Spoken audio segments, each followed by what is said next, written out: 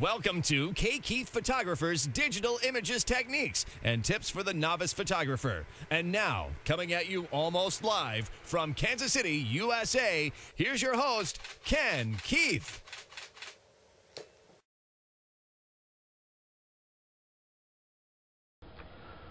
Hi everyone and welcome back.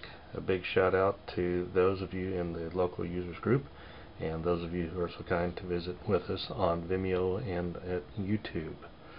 Well today uh, we're going to have a short tutorial unlike the last two and I know everybody will be glad about that uh, and this has to do with sharpening and we've had other tutorials on sharpening before but specifically we're going to look at selective sharpening with uh, the high pass filter and using a layer mask. Now this would also work um, in um, Lightroom in, Photoshop also the, the big version CS5 and but this is specifically for those of you who are using Photoshop Elements 9 and if you have a older version of Elements and you're going to stay in the uh, Elements software I strongly recommend that you upgrade to Elements 9. This image is a, a raw file and if you follow me on uh, my photo blog uh, kkeithphoto.wordpress.com you will see this one uh, in its um, high dynamic range version in which I've taken this as what you'd call a normal exposure and I've uh, merged that with a, a minus 2 and a plus 2 stop uh, version.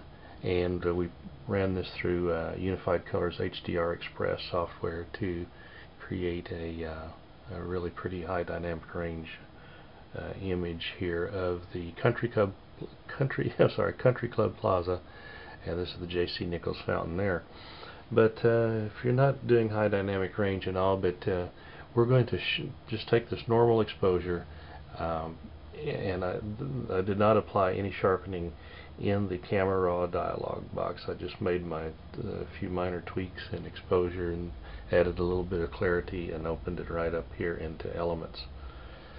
So as you know, uh, or I'm sure you do, uh, to do high pass sharpening you're going to uh, first of all duplicate your background layer and I'm just going to use the the keyboard shortcut control and J to do that go up to filter other high pass. Uh, I've cranked this up uh, to 5 pixels which is uh, probably the upper limit of what I would normally do and, and generally I'm not up this far but um, I wanted to come up a little ways so that you could evaluate it more easily uh, on your um, screen. I'm going to click OK and then um, when you do your blend modes most people will say overlay a little less snappier version is soft light. Some will also say you can use hard and vivid light, and you certainly can use those. So these are your four blend modes. Uh, this time I'm going to use hard light. Uh, once again, I just want to make this where you can see things uh, better at home. And um, this has applied uh, quite a bit of sharpening. Now I'm going to to zoom in to this area of the sky because I'm really not interested in sharpening anything up there. I'm just interested interested in the foreground. And and uh, hopefully you can see some of this luminance noise up here in the sky. If I turn off this uh, sharpening layer, uh, there's virtually none. Now if I wanted to fine tune this, uh, you at home, if you have Lightroom, of course you can use the noise reduction there, which is really good uh, a standalone program uh, that I often recommend and I, I, have myself is Noiseware by Imagenomics. But uh, as you I probably wouldn't bother uh, because this would not be a problem uh, once it's it's printed. But to me, we'll turn this sharpening layer back on. Uh, now it starts to become a problem. So what do I want to do with that? I, I do want to keep my sharpness down here I don't want it up here.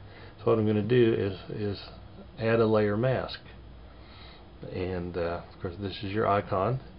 And instead of just uh, clicking on it, I'm going to hold down Alt and then click on it so that my layer mask shows up as black.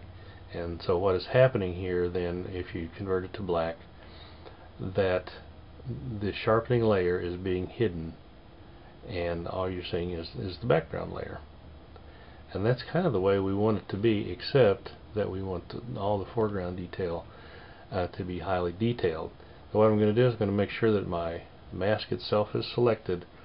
I'm going to get a brush, have my foreground color to white, and I'm just going to start uh, painting down here in the areas where I want the sharpness to appear. So by painting with white it will reveal the sharpness layer and here it comes. I'm not going to do a, a real steady job here, a complete, uh, because you get the idea and there's no use me going over it.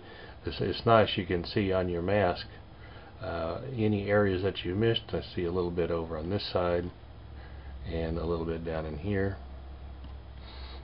and uh, then you can fine tune your brushes make them smaller with your bracket keys and uh, uh, for example if I want to go up here to the to the spike of this uh, plume of water I can get in there.